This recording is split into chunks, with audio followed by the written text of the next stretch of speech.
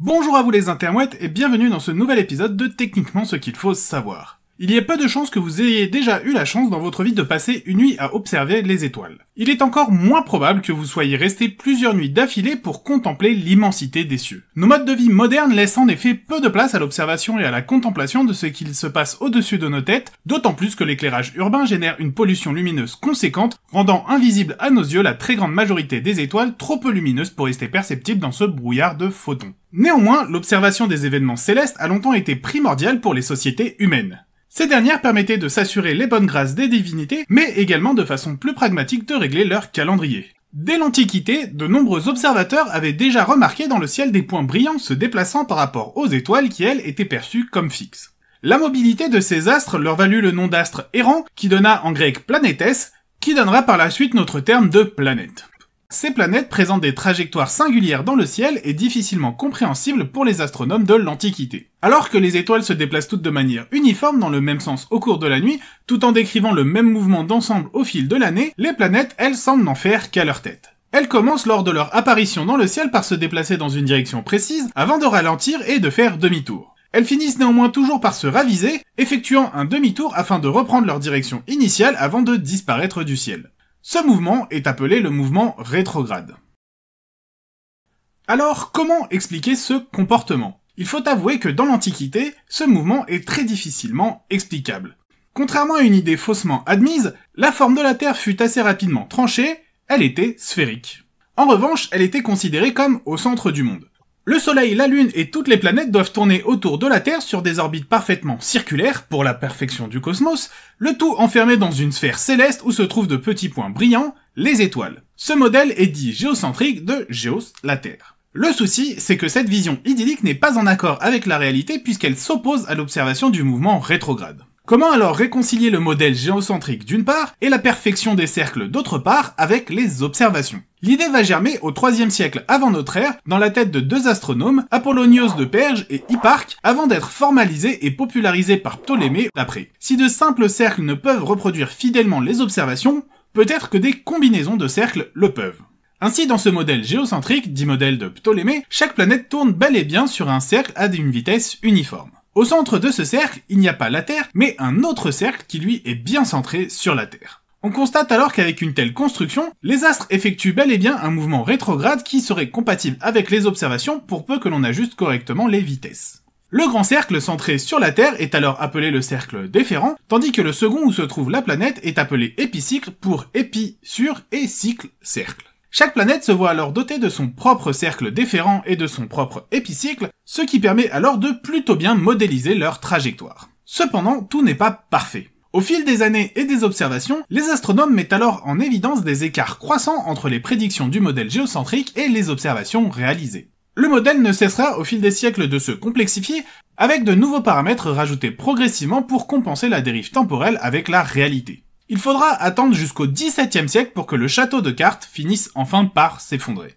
Johannes Kepler, astronome ayant une faible vue et donc incapable de faire de bonnes observations, compensait cela par une excellente maîtrise des mathématiques et s'était vu confier une tâche par son mentor Tycho Brahe. À l'aide de toutes les mesures extrêmement précises de ce dernier, résultat d'années d'observation, Kepler devait calculer la trajectoire de Mars afin de mieux quantifier son mouvement rétrograde. Ce travail, qui pensait-il allait lui prendre quelques semaines, se révèle au final bien plus ardu que ce qu'il avait cru. Un an seulement après avoir commencé son travail, Tycho Brahe meurt. Cela motive alors Kepler à prendre le temps nécessaire pour effectuer un travail de qualité et le décide alors non pas à calculer uniquement la trajectoire de Mars, mais celle de toutes les planètes dont Brahe avait relevé les positions. Après pas loin d'une décennie de calculs acharnés, il arrive enfin à la conclusion que les mouvements sont bien plus simples et logiques en supposant que tous les astres tournent autour du Soleil. Il finit, avec cette hypothèse et les données de Bray, par déterminer trois lois fondamentales, connues aujourd'hui sous le nom de loi de Kepler. Mais nous n'allons pas toutes les voir et nous concentrer uniquement sur la première. Ces dernières expliquent que les planètes tournent autour du Soleil, non pas sur des orbites parfaitement circulaires, mais elliptiques. Elles ne sont donc pas des cercles parfaits, mais légèrement aplatis, et le Soleil occupe l'un des foyers de l'ellipse. La perfection des cieux vole donc en éclats, d'autant plus qu'à quelques années d'intervalle, l'apparition soudaine d'une nouvelle étoile très brillante dans le ciel, puis sa disparition, qui avait été bien documentée par Tycho Brahe, avait mis à mal la conception d'un ciel parfait et invariable, tandis que la découverte par Galilée de satellites tournant autour de Jupiter venait encore plus enfoncer le clou du modèle géocentrique en montrant que tout ne tournait pas autour de notre bonne vieille Terre. Dans cette nouvelle configuration héliocentrique, le mouvement rétrograde des planètes s'explique très simplement. Chaque planète possède sa propre orbite sur laquelle elle se déplace d'autant plus vite qu'elle est proche du Soleil. En suivant sur les constellations la position de Mars, son mouvement peut s'expliquer par le fait qu'en se déplaçant plus lentement sur son orbite que la Terre, elle a donc une vitesse angulaire plus faible. Il en résulte alors que la planète rouge se fait dépasser par la planète bleue. Vu depuis notre bon vieux plancher des vaches, le mouvement relatif de Mars donne bien l'impression qu'elle avance avant de faire une boucle et de reprendre sa direction de départ, l'air de rien. Il aura donc fallu accepter que ce n'était pas la Terre qui était le centre autour duquel tournaient tous les astres pour qu'enfin ces modèles deviennent simples à comprendre et à mettre en équation. Techniquement, ce qu'il faut savoir, c'est que le mouvement des planètes dans le ciel, compliqué à expliquer par la boucle de leur trajectoire, a mis plusieurs siècles à trouver une explication satisfaisante. Pour concilier les observations avec les concepts philosophico-mathématiques de l'Antiquité, comme la considération que la Terre est au centre du monde et que le cercle est la forme parfaite, un complexe système de cercles déférents et d'épicycles fut inventé. C'est ce que l'on désigne comme le modèle géocentrique, également appelé modèle de Ptolémée, car c'est lui qui en fit la promotion et lui permit d'être populaire. Pourtant, au IIIe siècle déjà, l'astronome et mathématicien Aristarque de Samos avait réussi à estimer la taille du Soleil et en avait conclu qu'il était plus gros que notre planète.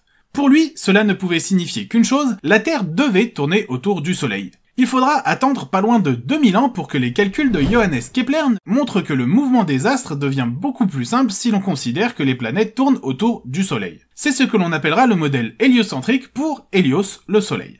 Ce modèle héliocentrique, bien qu'encore imparfait à l'époque, présentait néanmoins un côté fort logique puisque la vitesse des planètes décroissait graduellement avec l'augmentation de la distance avec le Soleil. Mieux encore, il est possible de parfaitement expliquer et prédire les variations de la rétrogradation au fil des années. Le modèle héliocentrique finit par s'imposer malgré les protestations vigoureuses de l'Église pour qui la Terre, abritant la plus importante création divine, se devait d'être au centre de toute chose.